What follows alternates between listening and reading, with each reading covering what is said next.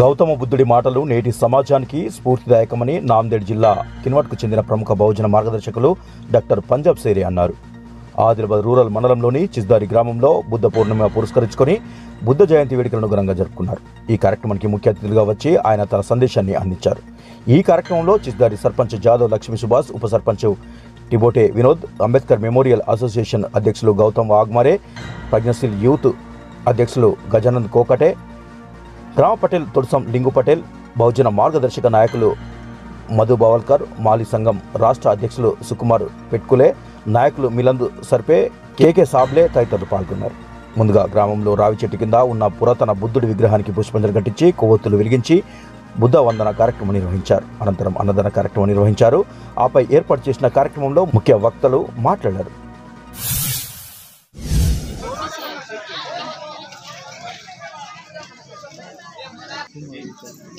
उपाशी राहू निर्भर. तुम्ही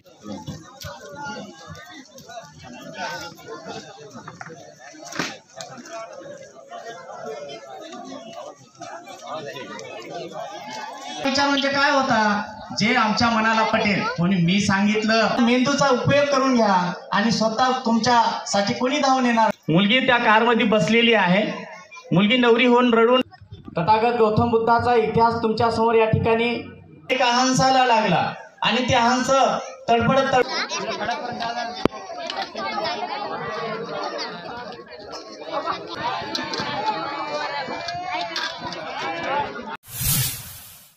बॅरिस्टरची पदवी दिल्यानंतर मुंबईला तार आला आणि मुंबईला तार आल्याच्यानंतर कळवलं रमाला. रमा बाबासाहेब आंबेडकर हे बॅरिस्टर झाले आणि मुंबईच्या विमानतळावर त्यांचा सत्कार होणार आहे. मुंबईच्या विमानतळावर त्यांचा सत्कार होणार आहे. रमा घरात त्या घरात रडू लागली. नस- नसेल तर काढून टाकावं मी रमा घरातल्या घरात रडू लागली. वाटलं? एवढा मोठा बॅरिस्टर येणार आहे. मुंबईच्या विमानतळावर बॅरिस्टर येणार आहे. सत्काराला जाऊ तरी कशी? आणि सत्काराला जाऊच नाही तर ह्याच बाया म्हणतील मा हिचा नवरा एवढा मोठा बॅरिस्टर झाला आणि सत्काराला सुद्धा जात नाही. हे सत्काराला सुद्धा जात नाही. आणि जावा आणि जावावा तर ह्या सगळ्या बाया म्हणतील मा एवढे मोठे बॅरिस्टरची बायको ठिगळाचे लुगडं घालून आली. ह्या सगळ्या बाया म्हणतील.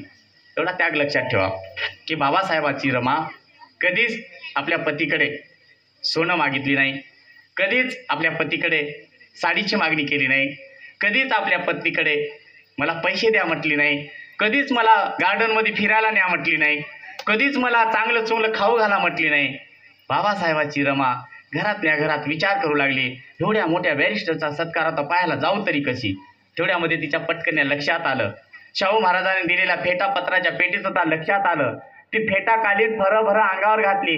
डोक्यावर पदर घेतली. कपाळाला मोठं कुंकू लावले. बाबासाहेबाचा मुंबई विमानतळावर जाहीर सत्कार होऊ लागला. आणि बाबासाहेबांचे डोळे सुद्धा तेवढ्याच प्रेमाने अरे माझी रमा कुठे दिसत नाही?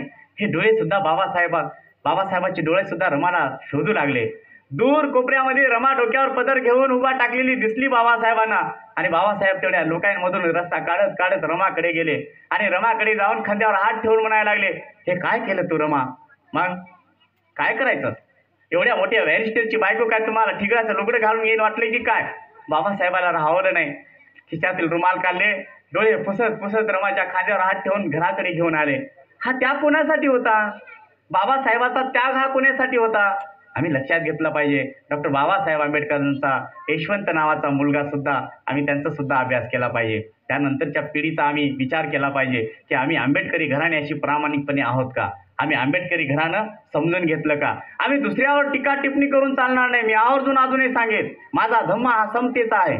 माझा संघ हा समतेचा आहे. माझा बुद्ध हा विज्ञानवादी आहे. माझा बुद्ध धम्म संघ हा विज्ञानवादी आहे. आणि हा विज्ञानवादी धम्म शिकवत असताना आम्हाला दुसऱ्यावर टिपाटिपणी टिप्पणी करण्याचा अधिकार नाही. करू नये. कोणाच्या भार धार्मिक भावना दुखू नये. आम्ही धम्म सांगितला पाहिजे. धम्मामध्ये काय आहे? मानवता आहे. कल्याण आहे. समता आहे.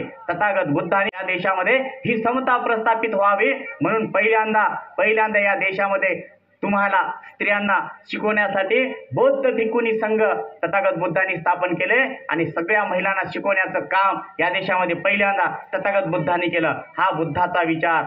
पुढं चालून संत तुकाराम महाराज असतील महात्मा बसवेश्वर असतील त्यानंतर शिवालाल महाराज असतील या सगळ्या घटना प्रसंगाचा विचार पाहता महात्मा फुलेंनी तुमच्या आमच्यासाठी एक जानेवारी अठराशे अठ्ठेचाळीसला आमच्या तुमच्यासाठी पहिल्यांदा या देशामध्ये शाळा सुरू केली. मला सगळेजण सांगा तुम्ही एकतीस डिसेंबर सगळेजण साजरा करता. आणि एक एक जानेवारीला आमच्यासाठी ज्यांनी शाळा सुरू केली ना ते दिवस सुद्धा आम्ही विसरून जातो. आम्ही झोपेत ते दिवस काढतो. कारण एकतीस डिसेंबरला आम्ही बारा वाजेपर्यंत खातो आणि जागी राहतो.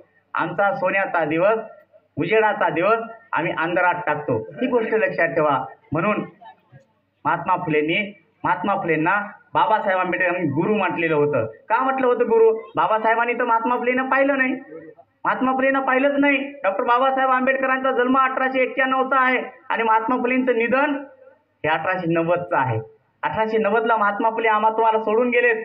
आणि बाबासाहेबांनी महात्मा फुलेंच्या समग्र साहित्याचा समग्र समतेचा गुलामगिरी असेल शेतकऱ्याचा आसूड असेल सत्यशोधक समाज संघटना असेल सरांनी लिहिलं चोवीस सप्टेंबर अठराशे त्र्याहत्तरला जी सत्यशोधक समाज संघटना महात्मा फुलेंनी स्थापन केली ती सत्यशोधक समाज संघटनेचे जे तत्व होते ते बुद्ध तत्व प्रणालीला धरून होते. म्हणून या ठिकाणी आम्ही बुद्ध समजून घेत असताना आमच्या महापुरुषांची विचारधारा आम्ही समजून घेतली पाहिजे.